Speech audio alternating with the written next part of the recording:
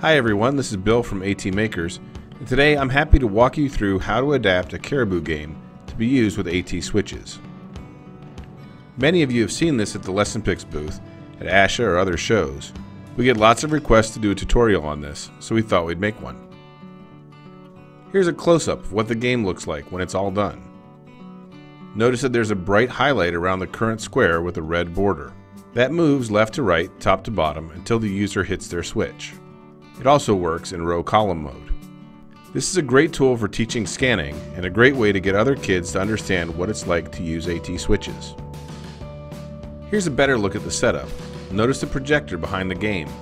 That can be up to 5 or 10 feet away depending on how bright it is.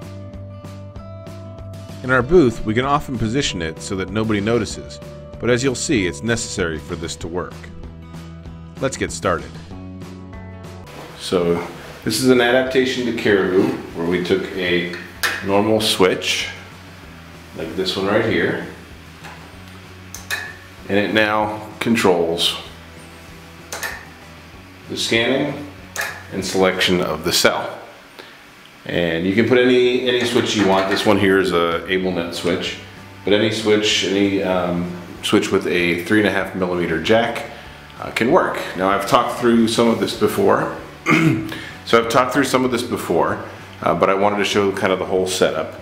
So the, the first thing you'll notice that uh, everything works, right? So the game still plays the same. You can uh, push the button and open up the cells, uh, see what's in there. Uh, in this case, nothing. Uh, the keys still work, and when we tried to switch enable this, what we noticed was there was no room to put in any LEDs or lights because if you put LEDs in here, it would block the ball and that would kind of ruin the game. So the first thing we did was we, um, we created a switch interface, a keyboard switch interface, which I've shown on uh, other videos on uh, atmakers.org. It says this interface right here. And there's another video showing how to make this, but basically the key, the button presses are converted into key presses on through this device. And then I'll show you how the actual lighting is done is done now. So as I back up, you'll see that we have a couple other other devices in play here. We have the switch, we have the keyboard interface.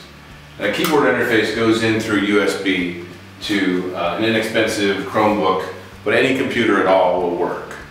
What you see on the screen here is you'll see that it is actually showing lights that scan through the different squares. And that this is being projected, if you look here, via a small projector down onto Cariboo Game. So um, any, any projector would work, any PC would work. Basically, you need to be able to get the keystrokes into a PC and then project the light down.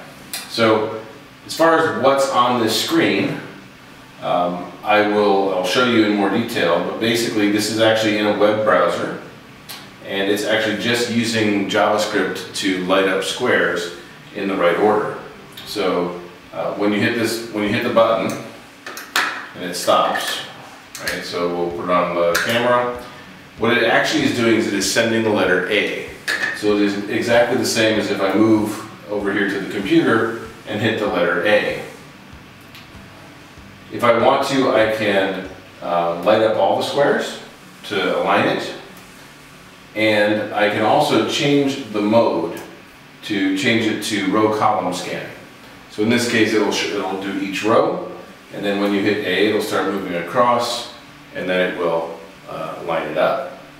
So um, obviously I'm doing it up here with the, the screen. It works exactly the same if you hit the button because it is actually sending um, the keystrokes. Uh, the only other thing that I've done here is I've actually put it in full screen mode for the browser so that it gets out of the way and uh, doesn't light up the rest of the board. So what's nice about this setup, one of the nice things is it doesn't really matter what game you want to play. All you've got to do is set up the right cells. Now I've written uh, the code to light these up and I've made it available on a link from this page for Cariboo.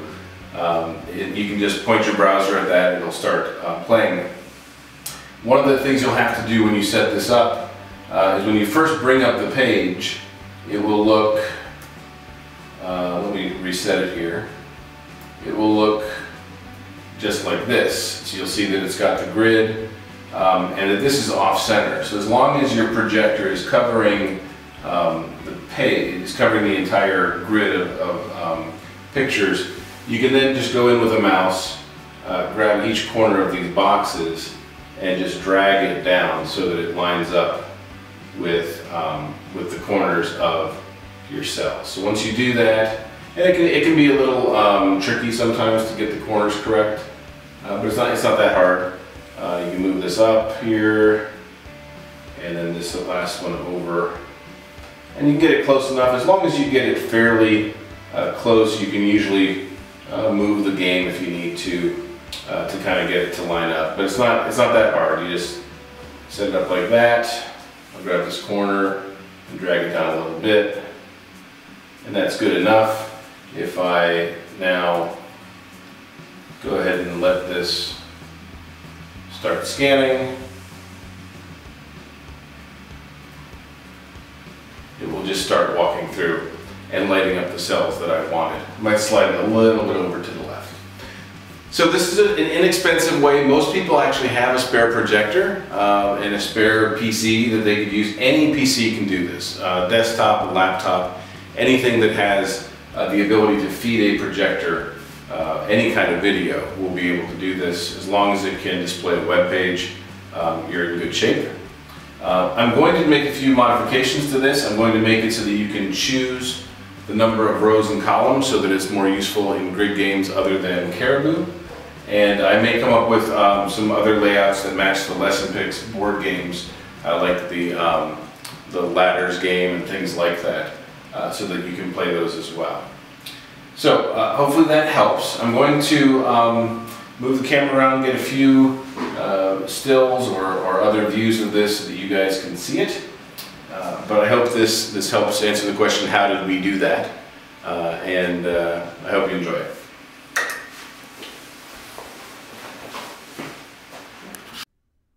Here's a close-up of the switch interface. You'll see that it takes in two um, three and a half millimeter switches.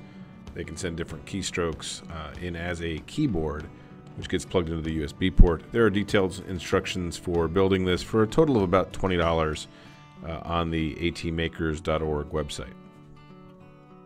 Here's a picture of the Chromebook that's used to scan, uh, show the scanning squares. Uh, we do use a Chromebook. It's probably a couple hundred dollars. Uh, it's easy to transport, but it really doesn't matter what PC you're using. Uh, we tend to stick it out of the way. It, it doesn't need to be um, used, uh, except for if you want to change the mode where you need to hit the M key. There'll be a, a walkthrough on those in just a second of how that interface works. Now you'll notice this is a micro, a, a Pico projector, a, a micro projector. Uh, we really do like this one. It's a P450. It's a very bright one but it's very small and, and not cheap. We use it uh, because it's easy to travel with.